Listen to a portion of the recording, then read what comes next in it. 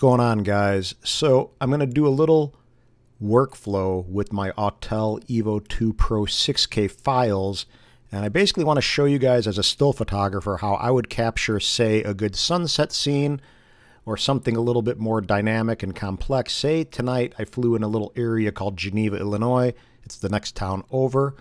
But as you see, I'm just going to click. I got it open in a Finder window on my Mac. I'm going to hit the spacebar and show you that I basically bracketed these shots. So I used the auto exposure bracket feature on the Autel drone, but DJI has that as well. And if you see, this is great for the town. So this is the town exposure. Everything looks pretty decent over here. But if I were to take this in, and it's a raw file, so it's a DNG, if I double click on it and open it in Photoshop, if I bring the exposure down to try to recover some of it, you're going to see I'm not going to actually be able to get this area to look good. It's going to be still too blown out and not look like the sunset did. So if we look over here, I took another exposure and look at that. The sky looks way better. So with this, I could either take, let me see, I'm going to click the files and toggle back and forth. And they shifted a teeny bit because obviously the drone is in the air, but I could align them, I'm sure, with no problem and just bring in the sky. Or I could possibly take this file, since it's a raw file, a DNG, open it, and we can see right away if I go and increase the saturation, for example, maybe crank the dehaze a little bit, not even. Dehaze can sometimes actually make it look kind of weird and a little too much. But say I recover some of the highlights a little bit, you can see the actual sky looks really a lot better. So now I can go ahead and I have this. If I hold the Option key down, I can toggle between opening a copy or a smart object. And if I go into this, if I click, I'm in Camera Raw plugin, I'm going to click this, and as you see, I have open in Photoshop as smart objects. And what this essentially allows me to do is do something kind of cool by doing, I'll show you here, hold on. It's kind of hard to explain. Smart objects are essentially opening the file. They're not rasterizing the file, so it's not pixels. It's actually like a vector-based type file. So if I open the smart object, this is what's going to happen. I'm going to do that. And if I control click or right click and I get this contextual menu, I'm going to go ahead and do new smart object via copy. And all this essentially does is allow me to get back in to the raw file. And now say I want to try to lighten this up and make this exposure better, not for the sky. I'm going to increase the exposure and voila. Now I have this same one file to be able to do the sky and the actual town. So now if I go ahead and I have two layers, right? So I got the same file, but since it's a smart object, I basically opened multiple ones because I did that new smart object via copy. And now I have this one for the sky, so I could even name it sky. And this one for the town, town. So now that one's visible. It's on the top. And if I punch a hole with the layer mask by hitting this little icon right here, now I have this white box. That's my layer mask. And if I go ahead and switch by hitting the X key, you're going to see over here, it's going to toggle the black. I'm going to hit my B key, which is my paintbrush.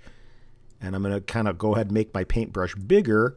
I'm going to hit the zero key to get 100% opacity. And now we paint in the sky and make it kind of like we just start painting a little bit. Maybe I take the 5 key and get 50% opacity, and maybe I make that area a little darker and kind of do a little vignette kind of thing. But this is, again, kind of where you start just toggling and painting and kind of getting creative. And you can kind of do something like that. Maybe I don't need this part of the town. So in focus, this is more of the focus over here. And do something like that. Now I'm painting with my Wacom stylus and my tablet. And now maybe I don't even need that so bright. And just so you guys are aware, the viewer's eye is going to be drawn to the brightest part in the image. So right now, the brightest part of the image is basically right over here, which is good because that's kind of where I want it to be drawn to is this kind of zone, but maybe not necessarily the roof. So maybe I go ahead and make that a little bit less. And if you see, I got my opacity of my brush at 40%. If I hit the 2 key, it will go to 20%. And maybe I make my brush a little smaller. Get that a little darker, not so it looks dark. Like I don't mind that it looks white, but again, just a reminder visually that again, the viewer's eye is going to be drawn to the brightest part of the image. And ideally it would be something a little bit more interesting, but it is what it is. And it's basically, as long as it's in this general area and the whole picture kind of comes together the right way, maybe I could even lighten this up a little bit. Yeah, maybe that looks a little weird. This is, I think, like their state building or something. But when you're working in Photoshop, you want to do a lot of little subtle moves. You don't want to make big, broad adjustments or make it look like it just is too much. I don't know. It needs to be blended, essentially. That's what I'm trying to say. You need to kind of blend every move so it's very gradual. So Shift Command F will actually fade the last command. So every move you make, if you hit Shift Command F, it will actually give you this and you could fade that move. So you can really fine tune and feather every move you make. So say I have this right now looking the way it is. I can go ahead and flatten this, essentially rasterize it. I'm just doing keyboard shortcuts because I kind of do it second nature. I'm going to go Command J on my Mac, duplicate the layer, and now I have some plugins that I work with. Like I'm going to go in a filter. I got ON1, which is a cool software company. I'm going to use this Effects 2020 and watch what I can do. So I'm just basically taking the file, tweaking it, and I got it on a separate layer. So I isolated it. So there's nothing I can really do that's going to damage it. It's a raw file. But look at that. That really comes together, right? So again, preview before ON1, after. Maybe it's too much for you. Maybe it's not. But at the same time, people love drama and dramatic, and I'm just going to stick with that and rock it. But now I can go ahead and fine tune, since I have the original one on a separate layer because I duplicated the layer, and maybe I don't want some of this too blue or I don't know. I'm just going to go ahead and make another layer mask and make sure I'm on my black. So I'm going to conceal or whatever with black. So I'm going to use the black paintbrush to basically bring in this other layer. And now I can kind of use, say, a 60% opacity brush. And maybe I just make it a little less. Maybe I don't make it as noticeable that I just ran a filter. But like for people in this town, guarantee they would probably say that's a pretty shot. So let's see. So maybe like that move makes it a little bit less kind of drama. And there we go. So we have that from, let's go to the Finder window, this. So we had one file that I worked with, and I know it's a lot to take in, I get that, but look at the exposure. I essentially captured it right in between the sky and this guy. And because it's a DNG file, a raw file, it gives me so much flexibility with being able to bring a lot of detail into the sky and compensate and recover different exposures. And it gives me the ability with a smart object to do that much more. So the knowledge to do what I'm doing really opens up a lot of possibilities. And I mean, look at this. So this one file went to, let me get back to Photoshop, to that. Now, if someone wants to print, that's what they want. You know what I mean? They want something really beautiful like that, showcasing their town. And the detail's pretty darn good. It's not really noisy. I'm shooting at 100. I'm going to bring up my info. And you can see I'm shooting at ISO 100, manual, always, 30th of a second at f5. So pretty darn good. So I am pretty impressed with the Autel Evo 2 Pro 6K one inch sensor files. I'm going to hit Command 0 to bring it back. But look at that. That's amazing. Now I can go ahead and watermark that. Say A-T-O-R-T, photography.com. Hit escape. Maybe I want to make it white. A little bit lighter. Bring that down. And voila. Maybe do a screenshot of it. I'm going to bring a screenshot up, move it around. Shift Command 4 for those who don't know. Drag that over there. And now I can go ahead and post it on, say, one of my Facebook pages or groups. And now what I'm going to do is promote myself, right? So people are going to see my images, and then they may say, hey, can I actually buy a print of this? And guess what? They can. And I can go ahead and upload it. And let me see. I'm going to go ahead and find that shot. This was another shot. And I'm just going to take away this one because it's not really the hero shot. Oops, shoot. What did I do? So I'm just modifying my post essentially. And voila, now it's in a group with 30,000 people in the town where I'm at. And that's how I start generating people inquiring about prints. Because guess what? Nobody's really capturing the town's beauty like this. That's pretty darn good for, you know what I mean? And I could do this every day, basically. And I do do it like that almost every day. But I just want to show you what can be done with a file like an Autel Evo 2 Pro 6K. And let's do one more maybe. We'll go, oh, let's go ahead and hold on. Let me go ahead and mark this so I know I actually worked on it.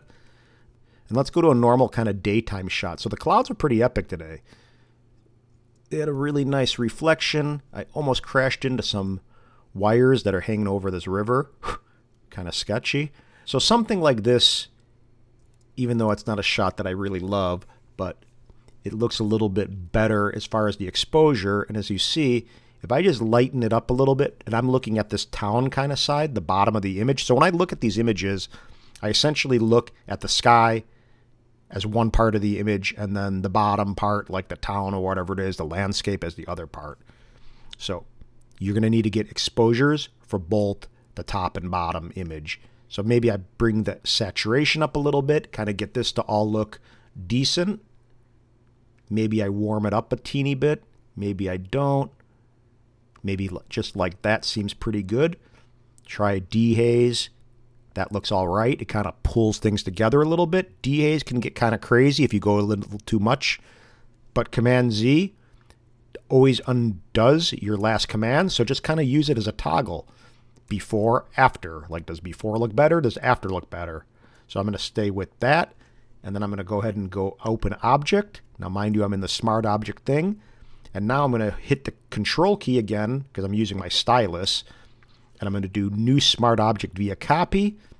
And this little thing in the lower right hand corner basically shows you that it's a smart object type file. So I'm going to double click on the actual icon. And now I'm just going to focus on the sky. So I'm going to do whatever I can to make the sky look as good as it can look. So I'm going to bring the exposure down to kind of pull in some of those clouds. And I'm pro probably going to hit the dehaze a little bit. And I don't know. I mean, I guess it's just kind of a weird sky.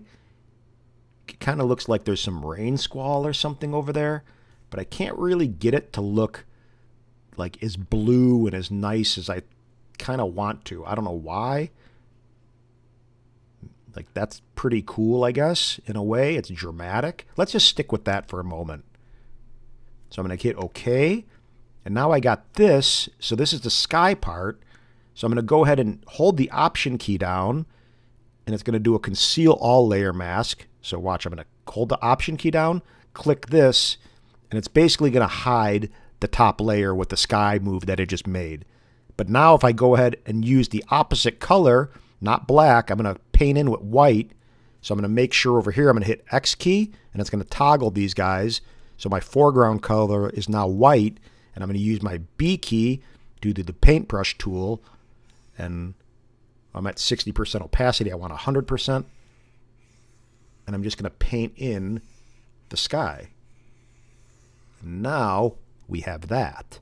And maybe I'm going to feather it a little bit by this little zone where I don't want it as dark because I just did that move and I'm using a feathered brush and I'm using 40% opacity. So I use my keyboard shortcuts almost like, I mean, my hand just kind of does its own thing. I mean, I can move my hand while I'm working the stylus and it's, you know, I've been doing it for 20 years. So I really, really am second nature with it and know all the keyboard shortcuts with Photoshop and it's just kind of, you know, you just cruise. But if I hit the F key, for example, it'll put it in full screen mode. And we can see, looks pretty good, right? So we have that from this. And that's the power of a DNG file. If I tried to do this with a JPEG file, guess what? I would fail miserably and it would never get this type of result. And that looks pretty awesome. So, and I can go again further by say duplicating it. I'm just going to duplicate it twice because I can. And I'm going to go into one of these filters and let me go into ON1 again. I got Topaz Labs as well. So I got a few different plugins that I work with. I work with a couple other companies like ON1 and Topaz. So they do help me out with the software. And now I can go ahead, I'm going to reset all and I can go and toggle some of the different little plugins. That looks really green. So no, I'm going to hit Command Z to undo that. And I'm just going to kind of see. Maybe one of them looks, these are looking pretty intense because I think I kind of already have it pretty intense with the sky at least. But you can see some will maybe work, some may not. Like this kind of works for just the town part. I kind of like the warmth that it introduced in this zone. So maybe I'll just hit done. So mind you, my mind's thinking and aware that I know I have it on a duplicate layer. So I can do tons of things with this. I can lower the opacity of the layer and just bring in a little part of it. I can leave it like that, full opacity. I can go ahead and hit a layer mask. And now I can go and use my paintbrush tool. And now I can use the opacity of my brush tool and do all kinds of stuff. So I can use 100%, do that, meaning bring back the original file. I can do 30% and just kind of, you know, do little tweaks here and there. You can kind of get painterly with it and just paint and maybe touch a tree, maybe don't touch a tree, maybe get these little guys, or maybe you hit a little anything. You just basically are painting and kind of fine tuning. And maybe you can try the sky and see if the sky looks too much. Like the sky looks all right, I guess. Maybe a little too much over there too bright, I should say. And you kind of always like a little vignette. A vignette will kind of draw your eye towards the center of the image. And there we go. Another image of a town. And the key is with this Autel, the files do look pretty darn good. So this is in inches, like 18 by 12. And if I wanted to make a 20 by 30 inch print, for example, I can do that and it will upres it and it will process and upres the file and it should look pretty darn good still. And now we have a 20 by 30 inch. So if I want to print this and say sell a $500, $750 print, I can go ahead and do that pretty easily and this file will easily hold up to that. So I'm hoping this helps, guys, just kind of give you a glimpse of the possibilities of what, say, a drone file. This is an Evo 2 Pro 6K file, but any drone like the Air 2S with a 1 inch sensor, Mavic 2 Pro, basically any drone really, you can utilize the same thing as long as you could capture RAW. So, hoping this helps a little bit, guys. Hit the subscribe button, like, and give me some ideas on what you would like to do. I am an expert level retoucher and color corrector and I can work files really well as a still photographer. So if you want to know anything specific, let me know and I'll try to do a tutorial on it. So thanks, guys. Peace.